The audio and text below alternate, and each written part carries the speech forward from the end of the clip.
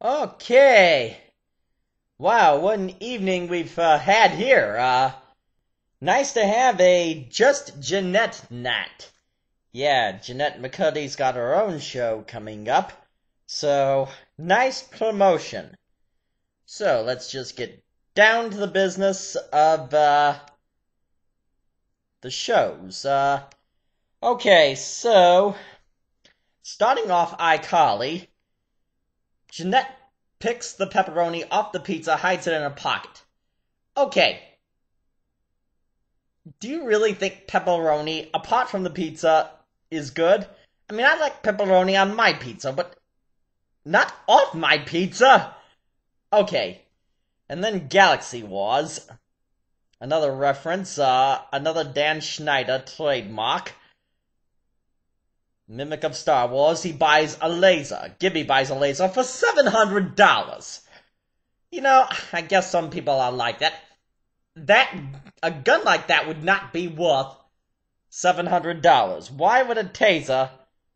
I don't know. Okay. Spencer naked again, that's been done before. Okay, and then they went right into the theme song. Okay, so not the best first five minutes of an iCarly. So, uh, on to, uh, when the theme song ends, Carly is watching the Dingo Channel. Why is she watching the Dingo Channel after the recent, uh, well, not recent, a long time ago, they uh, had, uh, an issue with Dingo? Remember the episode I take on Dingo? Well, okay, I guess they were reconciled at the end of that episode. Uh. Now, I was anticipating Spencer naked being in the whole episode. Thank God it wasn't. But then he sets on a fire with his skate. Fire again? Grrr! What's with the fire? And Carly, uh, cooks a hot dog over it. Okay. Uh, cooking a hot dog over a roller skate. That's fine. Okay. Then came the highlight of the show when uh, Sam uses the classic butter sock and beats up the bully. Yeah. We were all applauding to that. I was, I know you were too. Yeah. Now, the B plot. Did, uh, Chuck really need a younger brother? Okay, going off to military school, I was sensing that that was not the end of things, so he gets a younger brother. Okay. The episodes with Chuck, that. I, I don't like seeing those anymore. Those are old, they've been done, and enough of them. Okay, so he, so they had to give him a brother. After all this time, we just now find out that he has a brother after they've been living in that building with him all this time, they just now find out he has a brother. Uh, after he had, we knew that he has a hotter older sister that Spencer had the hots for. Only now do we find out that this brother exists. So, I'm getting the impression this was not going to be the best iCarly episode. And then I, the Taser plot of the Taser destroying everything, not good. But ends justify the means. It explodes. The kid Chip gets a taste of his own medicine. It ends all good. And so if it ends on a positive note, I can say it was an overall good episode. Okay. On to Victorious. Uh, starting off with, uh, Jade, uh, chasing Cat. That was laughable! That was funny! That was the, that was probably the highlight of it all. And then, uh, Jade No Eyebrows. Remember the Zoe Ribs episode of Zoey 101 where, uh, Quinn blows off Mock's eyebrows? Yeah. That remembers me. Then more of the Jade Cat chase.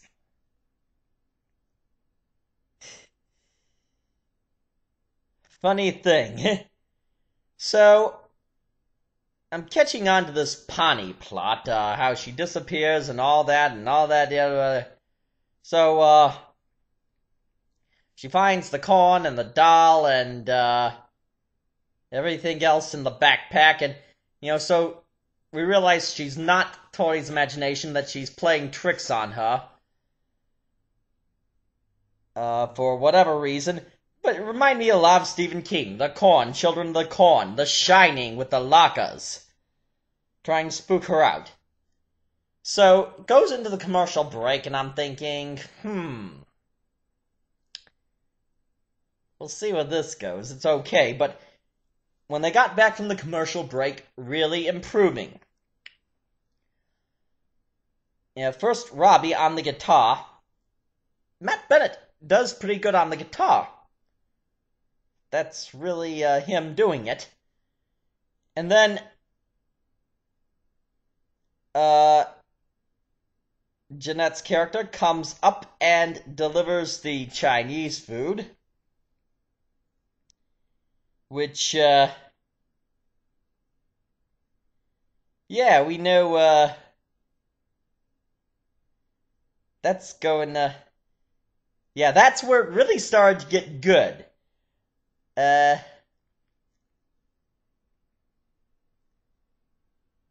then Tori's mom appears. Holly Vega has been appearing much more frequently lately. And, uh, that's good. Jennifer Carta is a great actor.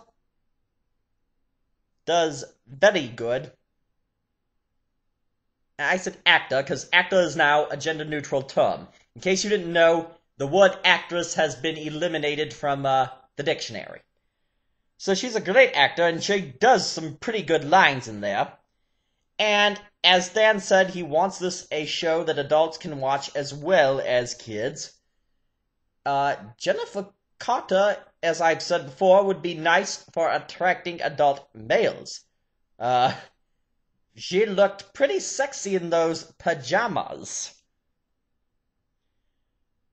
So, so it turns out there's probably an affair she's having with the uh, police officer. Ooh, we'll see if that's a continuing storyline and where it goes. but all in all, great ending with the uh, cops uh, capturing Fawn. Then we see Cat Bald. Uh, not necessarily good looking bald, but uh, funny nonetheless. and then Jennette driving the car at the end, which was. Yeah. So looking good so far. And so, uh, an hour long Bucket and Skinner. Well, of course, it's obvious that uh, Bucket's plan for asking Kelly to the prom isn't going to work. So the first funny thing that happens is when the clog from the drain gets spilled all over a Piper, and then the wrong way on the bus, like that hasn't been done before. Okay, so Matt Shively makes an appearance. Uh,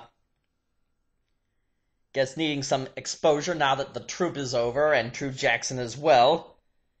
And somehow, uh,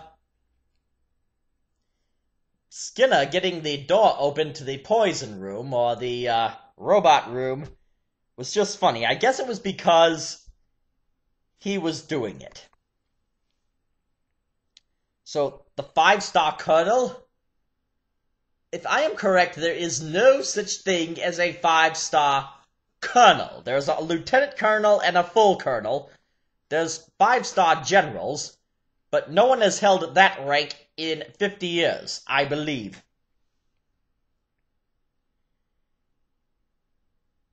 Okay, so it goes on. Piper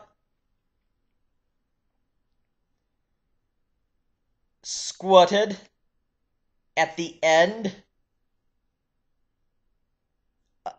again funny.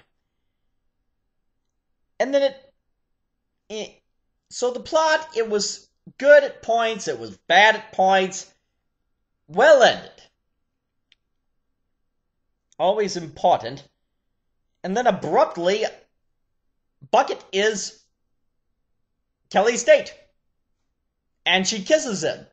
And she tells him he's handsome. Is this the beginning of something? I would imagine so.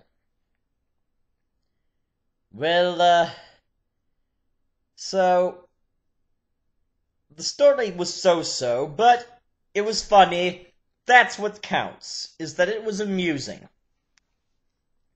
So some new shows coming up. Uh, we've got the game show Figure It Out being revived with the newer generation of Nick stars. And uh, Hollywood Heights. That might be interesting. Uh, now that uh, I'm getting some time off work and not working uh, as many hours, I may uh, because I'm thinking this, from what I understand, that this will be a daily show, and I might watch it, not review it every day, but maybe on weekends uh, give a little dose of it. And maybe some House of Anubis, uh, if House of Anubis is still being shown daily, I'm not sure. But yeah, I, uh, school year's ended, so I'm getting, uh, some more rest, recuperating. Still working, still getting some work, but okay, I've made my point there. So, till next time, this is your Nick Nick Nick Nick Nick Nick Nick Nickelodeon Nutcase!